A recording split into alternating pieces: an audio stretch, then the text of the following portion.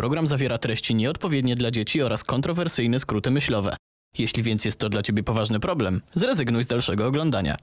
Chociaż pewnie będziesz żałować. Dziś jeden z tych odcinków, gdzie naprawdę wypada na samym początku uprzedzić osoby szczególnie wrażliwe, bo momentami będzie naprawdę brutalnie, ale po prostu nie da się inaczej, opowiadając o tym człowieku, który mimo, że nie stał na czele państwa, nie stał na czele armii, to i tak był odpowiedzialny za śmierć i niepojęte cierpienie niezliczonej liczby ludzi, a robił to wszystko bez najmniejszych wyrzutów sumienia, ponieważ był przekonany, że działa w służbie nauki i rasy panów. Kto przyczynił się do takiego światopoglądu w jego młodości? Czemu szczególnie często pojawiał się na rampie oświęcimskiego obozu, żeby selekcjonować więźniów? Na czym polegały jego chore eksperymenty i czy jakkolwiek przysłużył się nauce?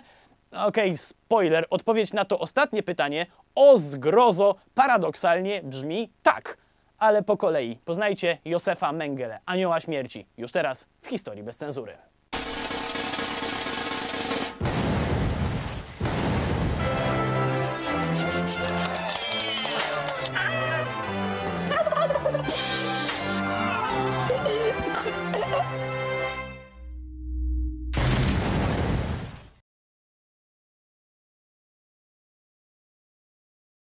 Józef, czy też po naszemu Józef, przyszedł na świat w miejscowości Günzburg 16 marca 1911 roku. Przyszedł na świat swoją drogą w rodzinie bardzo bogatej i przedsiębiorczej. Jego ojciec Karl był inżynierem i miał firmę, która produkowała maszyny rolnicze, ale też takie maszyny, bez których nowoczesne wówczas młyny i tartaki nie byłyby w stanie działać. Firma radziła sobie bardzo dobrze. Była w momencie przyjścia Józefa na świat jednym z największych, mało tego, największym pracodawcą w rejonie, a miało być jeszcze lepiej. W czasie I wojny światowej przestawili się na produkcję dla wojska, a po niej znowu działali w cywilu i to działali świetnie. Innymi słowy, Józef i jego dwaj bracia byli ustawieni na przyszłość. Jeśli tylko by chcieli, to przejęcie firmy od ojca było tylko kwestią czasu. No właśnie, problem w tym, że Józef nie chciał.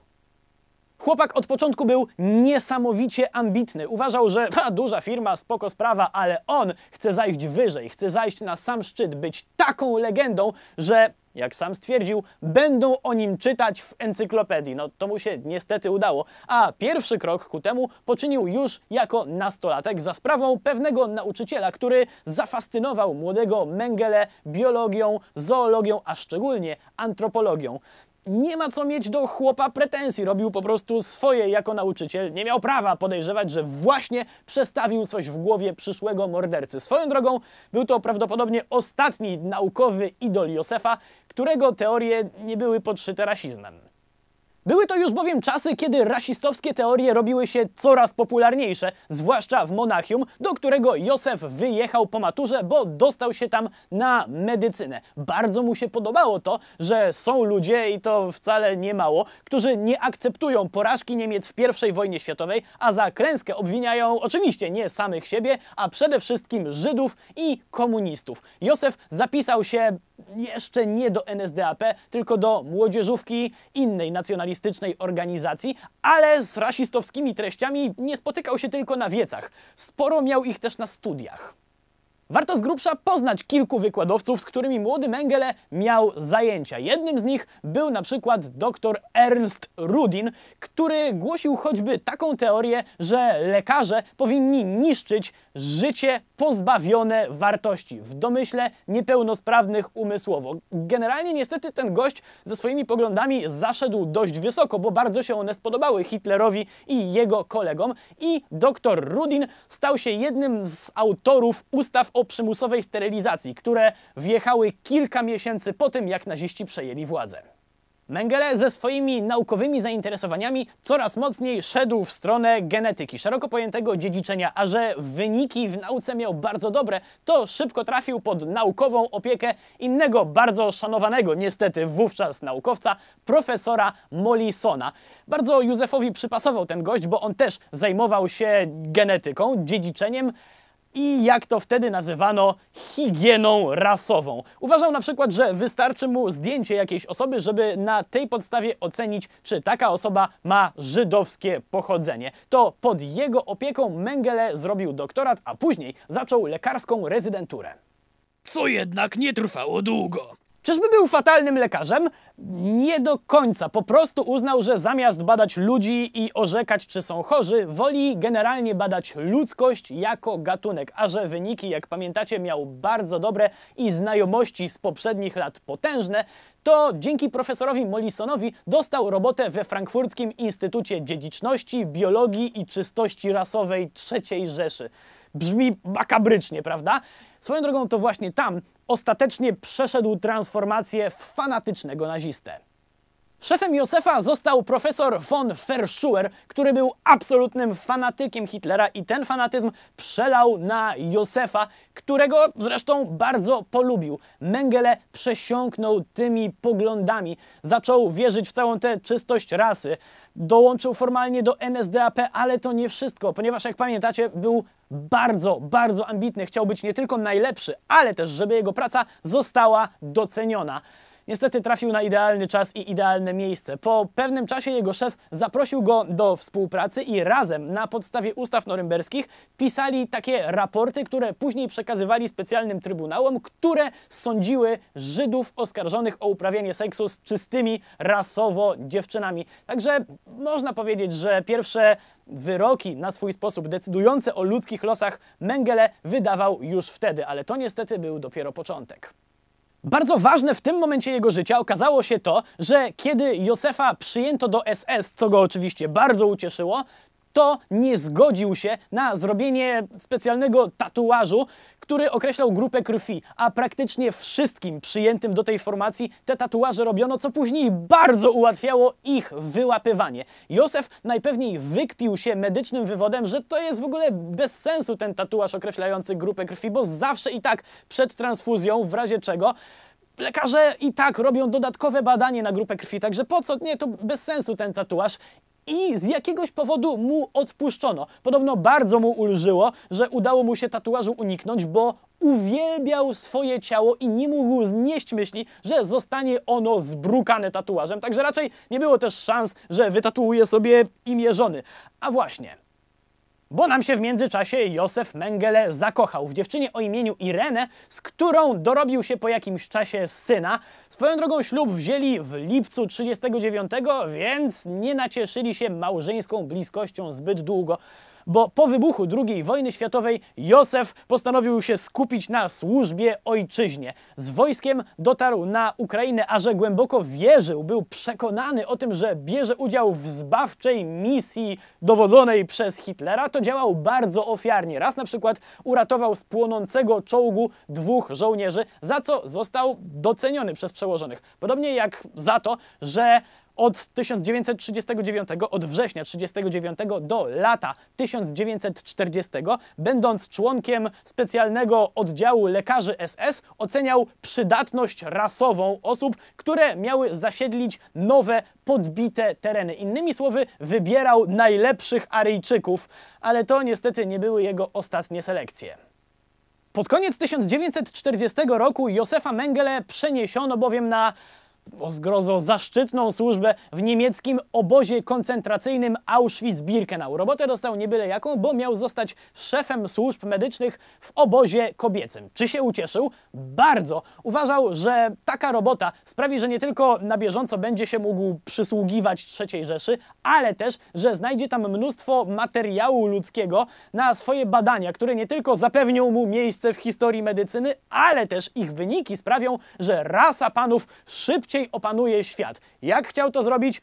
O tym za moment, bo wcześniej Józef Mengele musiał uporać się z szalejącą w obozie epidemią tyfusu. Zrobił to błyskawicznie, z takim podejściem, jakiego zdecydowanie nie spodziewamy się po lekarzu, ale z drugiej strony, które kompletnie nie dziwi u fanatycznego nazisty, bo Józef kazał zabić ponad tysiąc osób, które albo były chore, albo było podejrzenie, że niedawno się zaraziły.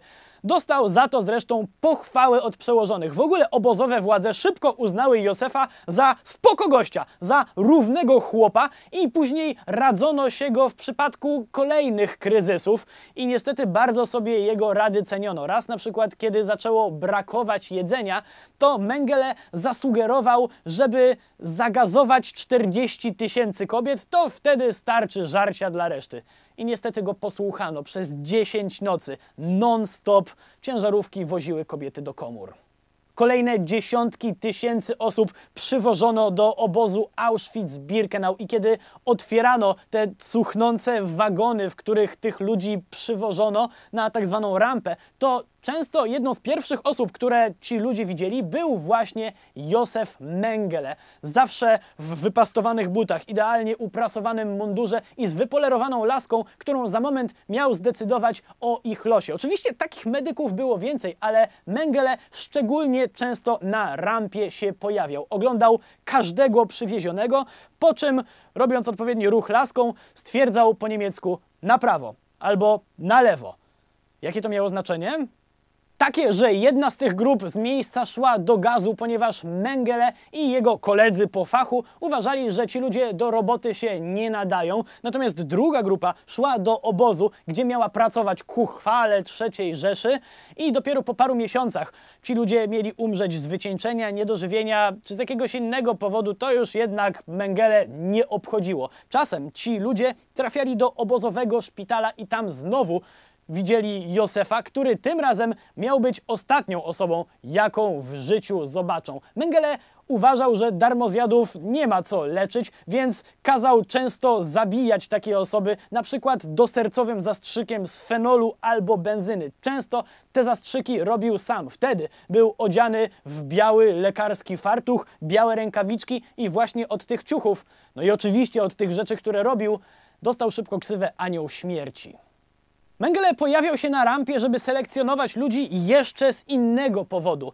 Szukał materiału ludzkiego do swoich badań, dzięki którym chciał przejść do historii medycyny i historii III Rzeszy. Szczególnie zawzięcie wypatrywał karłów i bliźniąt, bo dorosłych kobiet do eksperymentów zawsze miał pod ręką tysiące, szczególnie wypatrywać nie musiał.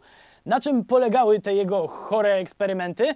Zacznijmy od karłów, bo tutaj sprawa jest względnie prosta, co nie znaczy, że nie woła o pomstę do nieba.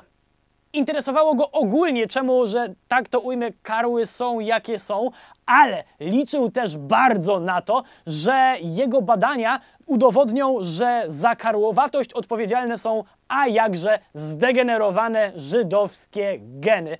Eksperymenty były potwornie brutalne. Były to na przykład amputacje, aczkolwiek zanim przyszło co do czego, to przyszłe ofiary Józefa Mengele żyły w naprawdę dobrych, jak na obóz oczywiście, warunkach. Szczególnie zmieniając już obiekt badań dzieci bliźnięta. To już w ogóle było makabryczne, bo nie dość, że żyły we względnie dobrych warunkach, to jeszcze Mengele często do nich przychodził się pobawić, przynosił im słodycze i generalnie dzieciaki naprawdę go lubiły. Jego przyszłe ofiary nazywały go często wujek Pepi.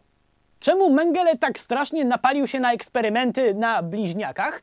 Bo uważał, że w ten sposób uda mu się rozwiązać kilka kwestii, a że przy okazji będą ofiary, to już go nie interesowało. Uważał, że to i tak te przecież gorsze rasy. Na przykład uważał, że badając bliźniaki, kobiety w bliźniaczej ciąży albo zmuszając starsze bliźniaki do seksu z innymi bliźniakami, będzie w stanie poznać genetyczne uwarunkowanie bliźniaczej ciąży, żeby później przełożyć to na aryjskie kobiety, żeby te zachodziły właśnie w ciąże bliźniacze, dzięki czemu rasa panów szybciej się po ziemi rozprzestrzeni i ją opanuje. Chore? Chore, ale to jeszcze nic. Mengele uznał bowiem, że bliźniaki to idealny materiał do badań, bo skoro są niemal identyczne, to można eksperymentować na jednym, a później wyniki tych eksperymentów porównać do drugiego. W ten sposób Mengele uważał, że określi, które wady, które cechy człowieka są nabyte, a które dziedziczne. Naciągana teoria, Oczywiście, że tak. Współcześni naukowcy, współcześni medycy nie zostawiają na logice doktora Mengele suchej nitki. Już pomijając aspekty etyczne, to jego teoria nie trzyma się kupy w bardzo wielu miejscach, a przede wszystkim, żeby ta chora teoria miała jakiekolwiek szanse powodzenia, to obiekty badań trzeba by było znać naprawdę doskonale ich historię, historię chorób, historię tego, jak były wychowywane, gdzie były wychowywane, całą psychikę. A tutaj Mengele działał na dość przypadkowej grupie. Te wszystkie czynniki miał absolutnie gdzieś. powszechnie dziś uważa się, że to, co wiemy o eksperymentach Mengele, nie ma żadnej naukowej wartości. Oczywiście Józef uważał inaczej. Brał więc po jednym z bliźniaków i w specjalnie przygotowanych pomieszczeniach robił rzeczy straszne. Na przykład wstrzykiwał tyfus, albo robił nacięcia i je zakażał, robił amputacje albo punkcje, czyli wysysał płyny albo tkanki, a to wszystko bez znieczulenia. A później przychodził czas porównania z drugim bliźniakiem, więc oba obiekty zabijał albo kazał zabijać, żeby mieć pełną swobodę w czasie sekcji zwłok, bo skupiał się mocno na organach wewnętrznych. Mengele sporo uwagi poświęcał też niestety badaniu kobiet. Na przykład raz postanowił sprawdzić, jak reagują na rażenie prądem. Potraktował nim 8 kobiet, dwie zginęły. Inne eksperymenty, w wyniku których ginęły kobiety albo ich dzieci, to było na przykład upuszczanie krwi, albo transfuzja, albo pozbawienie dziecka pokarmu, żeby zobaczyć, jak długo pożyje, albo, jak zeznawali świadkowie, stawanie na brzuchach ciężarnych kobiet, żeby zobaczyć, kiedy poronią. Naprawdę trudno, jeśli w ogóle ktoś z jakiegoś powodu chciałby to robić, wybrać najbardziej makabryczną zbrodnię anioła śmierci, ale niestety jest jeszcze jedna kandydatka. Pewnego dnia Józef Mengele kazał wykopać ogromny dół, rozpalić tam wielki ogień i spalić 300 dzieci żywcem. Ta scena musiała być po prostu straszna, no, makabryczna, bo raz na jakiś czas jakieś poparzone dziecko wypełzało z tego dołu, ale tam już tylko czekał oficer, który je wpychał z powrotem, a temu wszystkiemu z zadowoleniem przyglądał się dr Mengele w towarzystwie komendanta obozu. Na szczęście dni ich panowania w obozie były już policzone. Niemcy dostawali coraz mocniejsze lanie na frontach, co najpewniej wpędziło Józefa w depresję, której oznaki były już bardzo dobrze widoczne w połowie 1944 roku. Podkreślmy sobie, to klęski Niemców wpędziły go w depresję, a nie to, co robił więźniom. Niestety swoje chore eksperymenty kontynuował praktycznie do samego końca, tak długo jak mógł. Dopiero 17 stycznia 1945 roku stwierdził, że dobra, już się robi zbyt niebezpiecznie. Spakował więc swoje pseudomedyczne notatki i zaczął ucieczkę. Dołączył do wycofującej się armii i szybko znalazł się dla niego mundur oficera Wehrmachtu. Po drodze przekazał też swoje notatki pewnej pielęgniarce, bo jakby je przy nim znaleźli, to mundur innej formacji na nic by się zdał. Wszyscy by dobrze wiedzieli, kim jest. Swoją drogą to był niestety mądry ruch również z innego powodu. Pielęgniarek z założenia nie przeszukiwano, z zasady puszczano je po prostu wolno, więc niewykluczone, że te notatki gdzieś po świecie nadal krążą, ale najpewniej zostały zniszczone. Wróćmy jednak do Józefa, który miał wielkiego farta. Trafił w końcu bowiem do obozu jenieckiego i ja wiem, że póki co nie brzmi to jak wielki fart, ale jak przyszło do wyłapywania SS-manów pod przykrywką, to Mengele się wywinął, bo jak pamiętacie, nie miał tego charakterystycznego tatuażu. Oczywiście też podawał się za kogoś zupełnie innego. Koniec końców puszczono go wolno, mimo że już wtedy mocno polowano na szalonego doktora Mengele, o którym zrobiło się głośno po oswobodzeniu obozu w Oświęcimiu. Jednak ten pozostał nieuchwytny. Wyjechał za ocean? Koniec końców tak, ale wcześniej przez 4 lata ukrywał się pod nosem szukających go ludzi, bo przebywał w Niemczech. Zresztą w tym czasie spotkał się też z żoną, którą namawiał, żeby z nim uciekła. No i oczywiście z synem też. Ale ta stwierdziła, że nie ma mowy. Czyżby go wydała? Nic z tych rzeczy. Pytana twierdziła, że Józef nie żyje z tego co wie, ale nie wie też, gdzie został pochowany.